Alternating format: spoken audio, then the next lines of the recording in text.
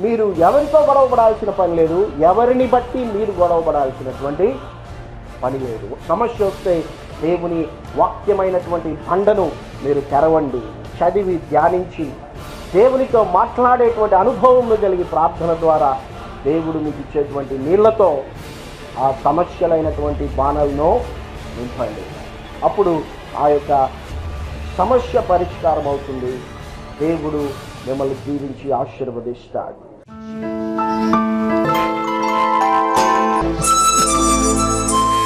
పరిశుద్ధ గ్రంథమైన బైబిల్లో దేవుడే మొదటి వివాహమును జరిగించాడు.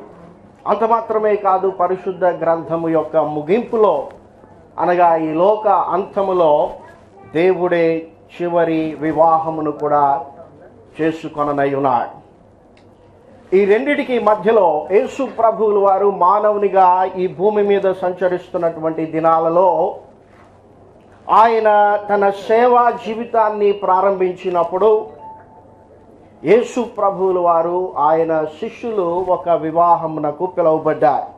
యూదుల యొక్క సాంప్రదాయము ప్రకారముగా వివాహమునకు వచ్చినటువంటి వారందరూ కూడా ద్రాక్షారసమును త్రాగేటువంటి వారు. మనకు అర్థమయ్యే భాషలో చెప్పాలంటే మన క్రిస్టియన్ మ్యారేజెస్లో తప్పకుండా మనకు చికెనో మటనో ఉండాలి. అయితే వారు ఏర్పాటు చేసినటువంటి ద్రాక్ష రసం అయిపోయింది. కాబట్టి చాలామంది బాధపడుతున్నారు. ఇప్పుడు మీకు అర్థం అవ్వాలనుకోండి మనం ఇంతమంది ఉన్నాం. పెళ్ళి అయిపోయిన తర్వాత ఎవరికైనా బిర్యానీ అందకపోతే చాలా బాధపడతారు వాళ్ళు. ఆ విధంగా ద్రాక్ష రసం అయిపోయింది. అయితే యేసు ప్రభువులు వారు ఆ యొక్క వివాహములో ఉన్నారు గనుక అక్కడ ఆ సమస్యను వారు యేసు ప్రభు దగ్గరికి తీసుకొని వెళ్ళారు. తప్పకుండా మన వివాహ జీవితంలో సమస్యలు వస్తాయి. అందులో డౌట్ ఏం లేదు. ఇప్పుడు యేసు ప్రభులు వారు సాక్షాత్తు పిలువబడినటువంటి ఈ వివాహంలోనే ఒక కొరత ఒక సమస్య ఊహించినటువంటి ఒక పరిస్థితి. కాబట్టి ప్రాక్టికల్గా మనం ఆలోచన చేస్తే వివాహ జీవితంలో అసలు సమస్యలే ఉండవని చెప్పడం కరెక్ట్ కాదు. యూదుల యొక్క శుద్ధీకరణాచార ప్రకారం అక్కడ ఆరు రాతి బాణలు ఉన్నాయి. సో యేసు ప్రభువులు వారు ఏం చెప్పారంటే ఆ రాతి బాణలను నీళ్ళతో నింపమని చెప్పారు. వారు నీళ్ళతో నింపినటువంటి తరువాత ఆ రాతి బాణలలో నింపబడినటువంటి నీళ్ళు ద్రాక్షారసం అయ్యాయి. ఆ ద్రాక్షారసం ఎంతో మధురమైనటువంటి ద్రాక్షారసముగా అందరూ సంతోషించి ఆనందించారు.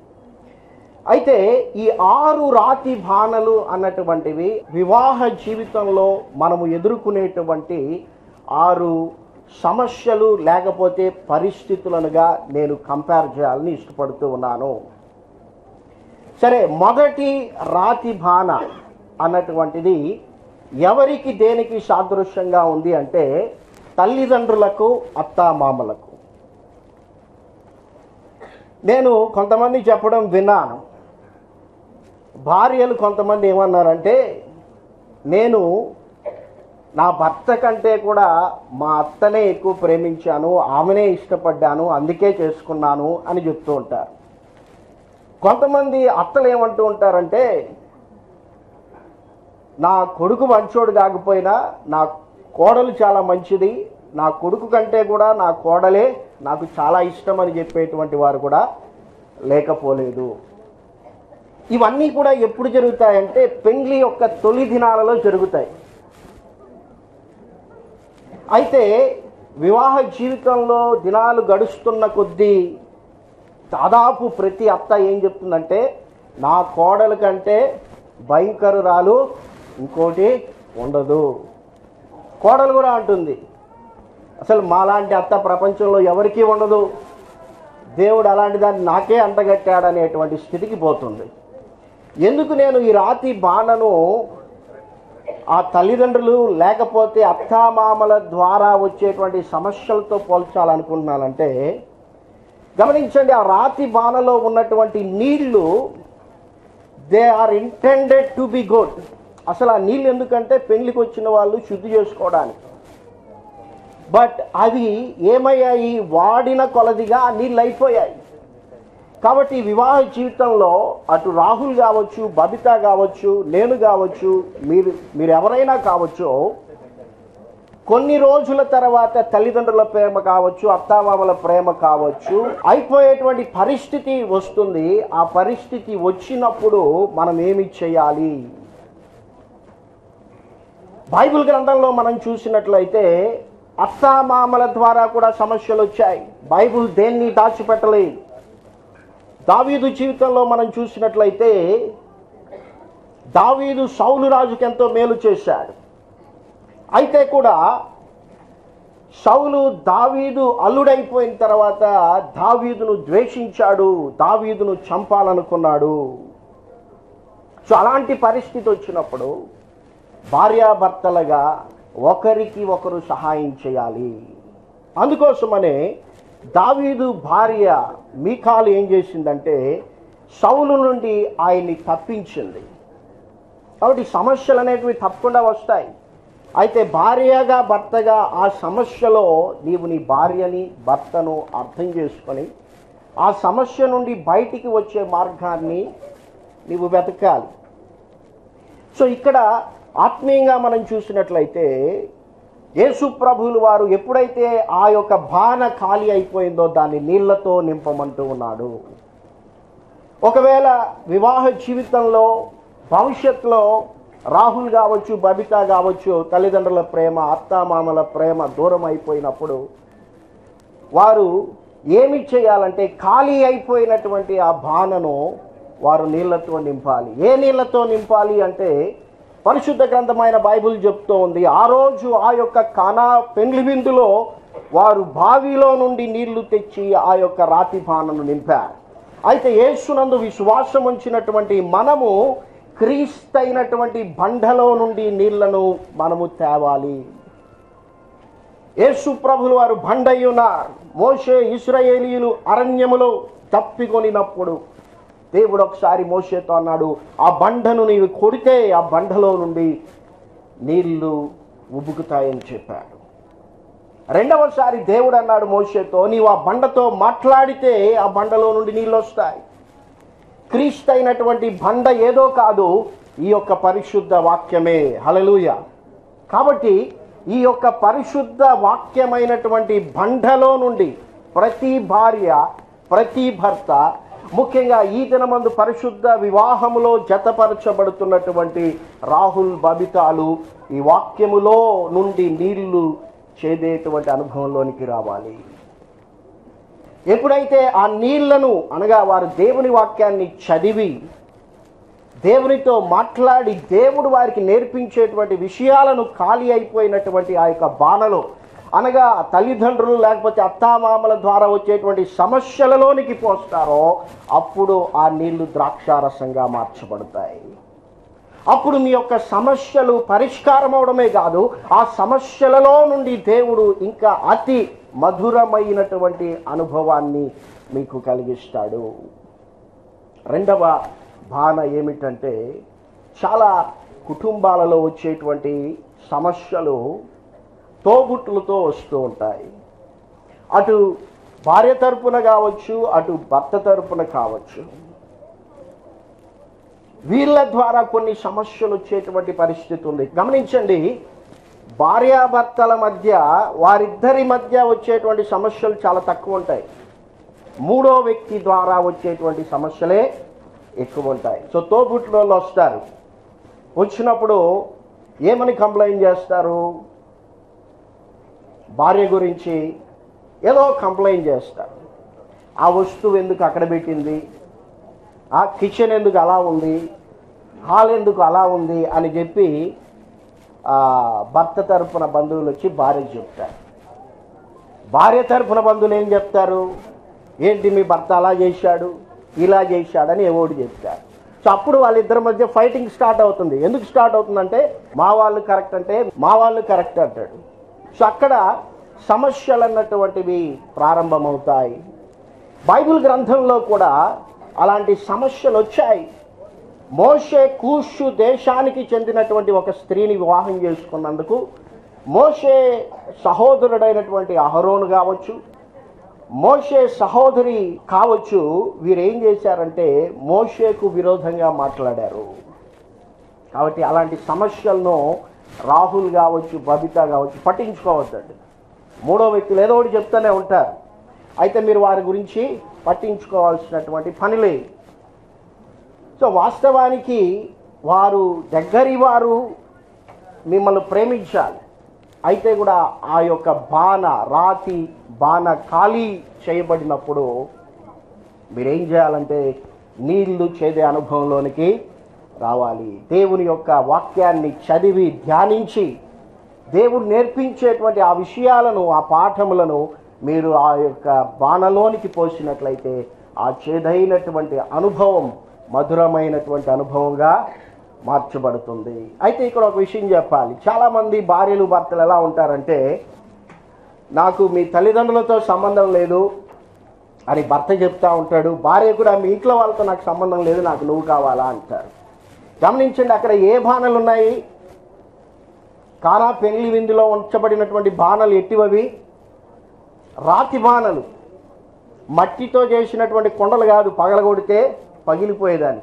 అవి రాతి బాణలు. అవి ఖచ్చితంగా మన యొక్క వివాహ జీవితంలో ఉంటాయి. మనము వాటిని ఎదుర్కొనేటువంటి వారిగా ఉండాలి. సో మోసే జీవితంలో కూడా అలాంటి పరిస్థితి వచ్చింది. అయితే మోసే వారితో గొడవ పెట్టుకోలేదు. ఆయన ప్రార్థన చేశాడు. ఆ సమస్యను దేవుడు అద్భుతంగా పరిష్కారం చేశాడు. సో మూడవదిగా మనం చూసినట్లయితే మూడవ రాతి బాణ దేనికి సాదృశ్యంగా ఉందంటే బంధువులకు సాదృశ్యంగా ఉంది. ఎవరో ఉంటారండి ఎవరో కూడా మనకు ఆ బంధుత్వము అసలు ఎలా కలుస్తుందో కూడా తెలియదు. ఎవరో భార్య వాళ్ళ పెద్దనాయన వాళ్ళ కూతురి వాళ్ళ చిన్నమ్మ వాళ్ళ పెద్దల్లుడి యొక్క చిన్న కూతురి యొక్క కూతురు అనుకోండి. ఆమె ఇంటికి వస్తుంది ఆమె ఏదో ఒకటి పాయింట్అవుట్ చేస్తూ ఉంటుంది. ఏదో ఒకటి చెప్తా ఉంటుంది. అదెందుకు ఇలా ఉంది? ఇదెందుకు ఇలా ఉంది? నీ భార్య ఎందుకు అట్ట చేసింది? కూరలో కారం ఎక్కువ వేసిందని ఏదో కంప్లైంట్ చేస్తూ ఉంటారు. అయితే అవేవి కూడా మీరు పట్టించుకోవాల్సినటువంటి పని లేదు. బైబిల్ గ్రంథంలో ఇవన్నీ కూడా జరిగాయి. దావీదు జీవితంలో చూస్తే ఎవరో దావీదుకు దూరపు బంధువు అయినటువంటి ఒక వ్యక్తి దావీదును ఎంతో నీచంగా తిట్టాడు. షిమి అన్నటువంటి ఒక వ్యక్తి ఈయన సౌలు కుటుంబానికి చెందినటువంటి వాడు. సో ఈయన దావీదును ఒక సందర్భంలో నీచంగా తిట్టి ఆయనను రాళ్ళతో కూడా కొట్టినటువంటి సందర్భం బైబిల్ గ్రంథంలో రాయబడింది. అయితే దావీదు అక్కడ ఆయన మాటలను బట్టి తన భార్యతో గొడవ పడలేదు లేకపోతే అతనితో కూడా గొడవ పడలేదు. కాబట్టి భార్యాభర్తలు ఏంటంటే మూడవ వ్యక్తి ఏమి చెప్పినా కూడా దాని వలన మీరు దయచేసి గొడవ పడద్దు. అయితే సహజంగా భార్యాభర్తలు ఏం చేస్తారంటే మూడవ వ్యక్తి చెప్పిన దాన్ని నమ్మి దాన్ని తీసుకొని వచ్చి వారు గొడవ పడతారు చివరికి. అది చాలా సరి చేయబడనటువంటి పరిస్థితిలోనికి తీసుకొని వెళ్ళిపోతుంది. సో దావిదు జీవితంలో కూడా ఆ రాతి బాణ ఖాళీ చేయబడింది. సమస్య వచ్చింది. ఇప్పుడు ఆయన ఆ బాణను నీళ్ళతో నింపాడు. దేవుడు అద్భుతంగా ఎవరైతే ఆయనను గురించి చెడుగా మాట్లాడారో ఎవరైతే ఆయన గురించి నీచంగా మాట్లాడారో వారందరి ముందర దేవుడు ఆయన్ని ఒక ఉన్నతమైనటువంటి సింహాసనం మీద కూర్చుండబెట్టాడు. ఆయన సంతానమును దేవుడు దీవించాడు. కాబట్టి మీరు ఎవరితో గొడవపడాల్సిన పని లేదు. ఎవరిని బట్టి మీరు గొడవపడాల్సినటువంటి పని లేదు. సమస్య వస్తే దేవుని వాక్యమైనటువంటి బండను మీరు తెరవండి చదివి ధ్యానించి దేవునితో మాట్లాడేటువంటి అనుభవంను కలిగి ప్రార్థన ద్వారా దేవుడు మీకు ఇచ్చేటువంటి నీళ్ళతో ఆ సమస్యలైనటువంటి బాణలను నింపండి. అప్పుడు ఆ యొక్క సమస్య పరిష్కారం అవుతుంది. దేవుడు మిమ్మల్ని దీవించి ఆశీర్వదిస్తాడు. సరే నాలుగవదిగా మనం చూసినట్లయితే ఆ రాతి బాణ భార్యాభర్తలకు సాదృశ్యంగా ఉంది. భార్యాభర్తలు అనగా ఎక్కువగా భార్యాభర్తలకు సమస్యలు వారిద్దరి మధ్య ఎందుకు వస్తాయంటే ఒకరిని ఒకరు సరిగా అర్థం చేసుకోకపోవడం వలన. మొదట్లో ఏమో భార్య నన్ను చాలా బాగా అర్థం చేసుకునిందని భర్త అనుకుంటాడు. భార్య కూడా అలానే అనుకుంటుంది నా భర్త నన్ను చాలా బాగా అర్థం చేసుకున్నాడని.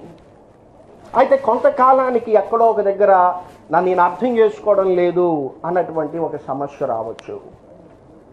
అర్థం చేసుకోవాలి చాలా ప్రాముఖ్యమైనటువంటిది. బైబిల్ గ్రంథంలో కూడా మనం చూసినట్లయితే అబ్రహాము జీవితంలో ఆయన షారాను గురించి ఒక సందర్భంలో ఈమె నా సహోదరి అని చెప్పాడు. గెరారు అన్నటువంటి ప్రాంతానికి వారు వెళ్ళినప్పుడు అక్కడ ఉన్నటువంటి పరిస్థితులను బట్టి అబ్రహాము అదేవిధంగా ఈవెన్ ఇషాకు కూడా ఆ ప్రాంతానికి వెళ్ళినప్పుడు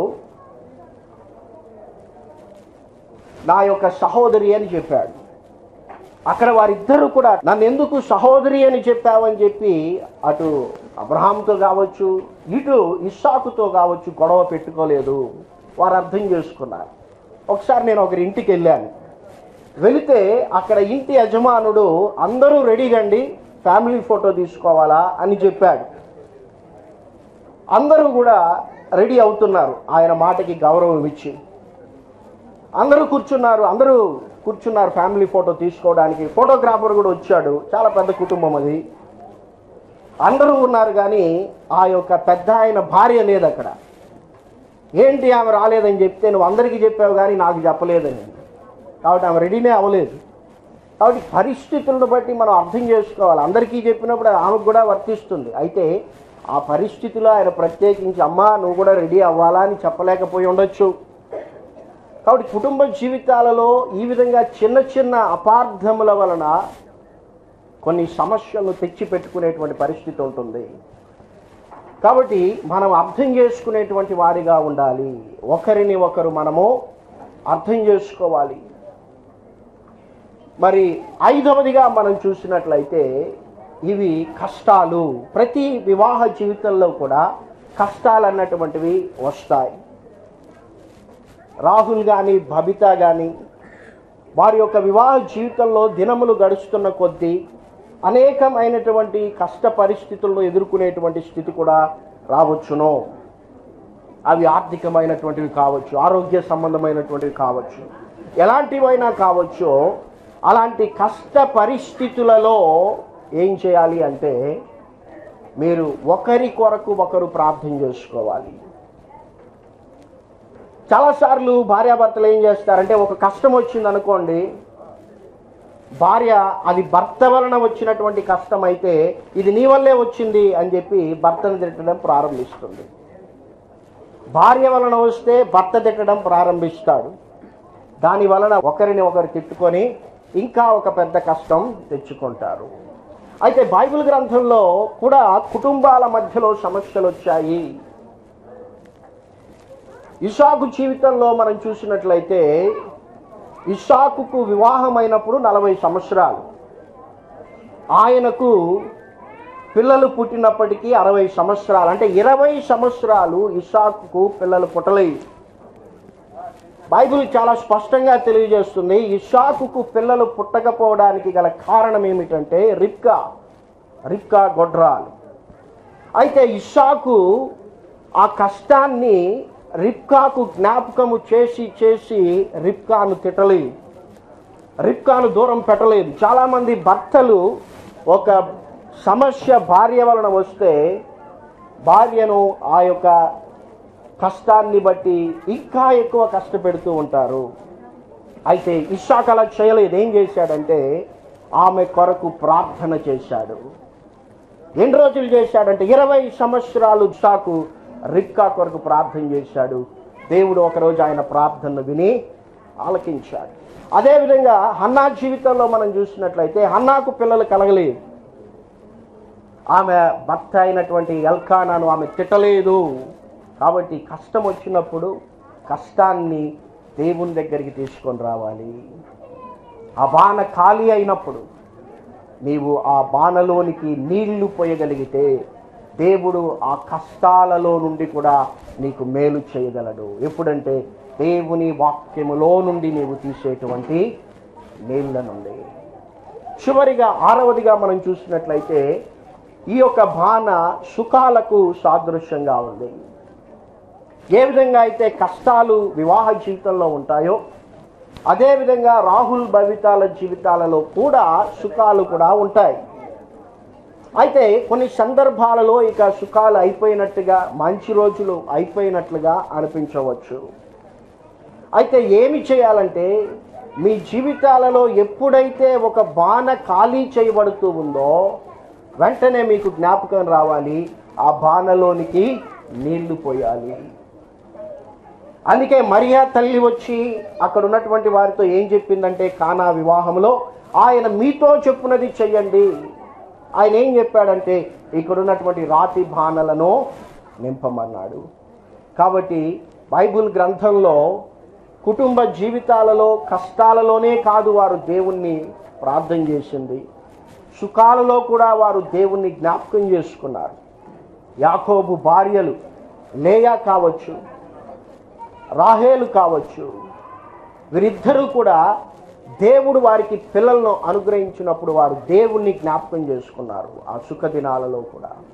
కాబట్టి కష్టాలలో ప్రార్థన చేయడం కాదు సుఖాలలో కూడా మీరు నీళ్ళు తోడేటువంటి అనుభవంలోనికి రావాలి. ఆ విధముగా మనము చేసినట్లయితే వివాహ జీవితంలో ప్రతి పరిస్థితిని కూడా అధిగమించి అనేక మందికి మనము దీవెనకరముగా ఉంటాం.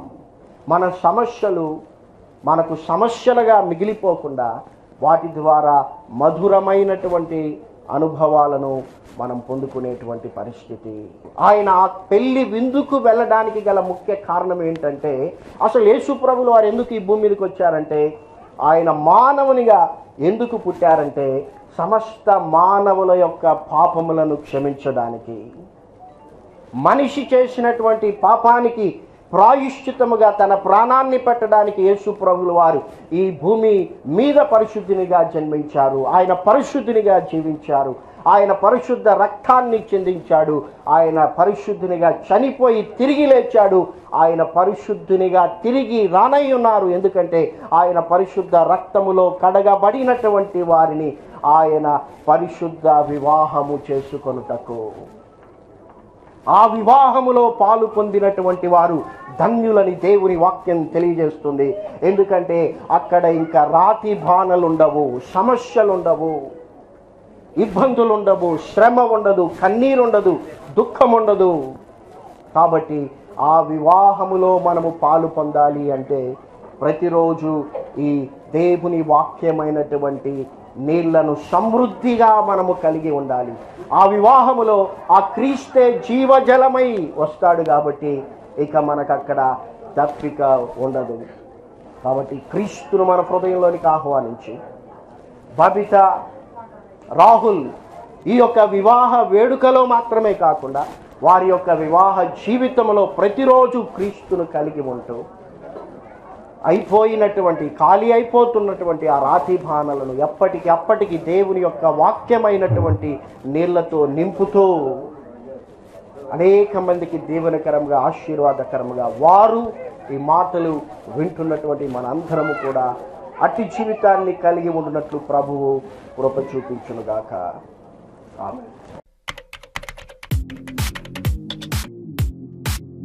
తెలుగు ఆధ్యాత్మిక వర్తమానముల కొరకు ఆత్మీయ షార్ట్ ఫిలిమ్స్ మరియు పాటల కొరకు డేవిడ్ కర్ణాకర్ యూట్యూబ్ ఛానల్ను సబ్స్క్రైబ్ చేసుకునగలరు. లైక్ చేయండి షేర్ చేయండి బెల్ ఐకాన్ ప్రెస్ చేయండి.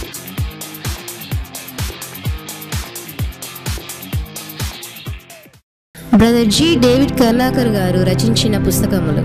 మూడు వందల అనుదిన ప్రార్థనలు. ఈ పుస్తకమునందు ప్రార్థన అనగా ఏమిటి? ఎందుకు ప్రార్థించాలి? ఏ విధంగా ప్రార్థించాలి? ఎంతసేపు ప్రార్థించాలి? అన్నటువంటి ప్రశ్నలకు వాక్యానుసారంగా జవాబులు ఇవ్వబడినవి. మరియు ఆత్మ ప్రాణం శరీరమునకు సంబంధించిన ప్రార్థనలు. మన కన్నులకు చెవులకు నోటికి పెదవులకు నాలుకకు చేతులకు పాదములకు మరియు హృదయములకు మనస్సునకు ఆలోచనలకు సంబంధించిన ప్రార్థనలు. మరియు ఇటువంటి మూడు వందల వాక్యానుసారమైన ప్రార్థనలు ఈ పుస్తకంలో ఉన్నవి. మూడు వందల అనుదిన స్థుతియాగములు. ఈ పుస్తకమునందు స్థుతించుట అనగా ఏమిటి? ఎందుకు స్థుతించాలి? ఎలా స్థుతించాలి?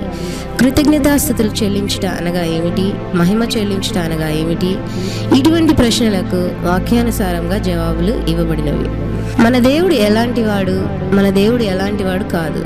మన దేవుని యొద్ద ఉన్నవి మన దేవుని యొద్ద లేనివి మన దేవుడు చేయగలిగినవి మన దేవుడు చేయలేనివి. ఇటువంటి మూడు వందల వాక్యానుసారమైన స్థుతియాగములు ఈ పుస్తకంలో ఉన్నవి. బైబిల్లోని జంతువులు మరియు పక్షులు. ఈ పుస్తకమునందు దేవుని అపూర్వ సృష్టి ద్వారా దేవుడు మనతో మాట్లాడుతున్న విషయములను బైబిల్లోని ఇరవై తొమ్మిది జంతువుల ద్వారా నేర్చుకోవలసిన పాఠములు బైబిల్ రెఫరెన్స్లతో సహా వివరించబడినది.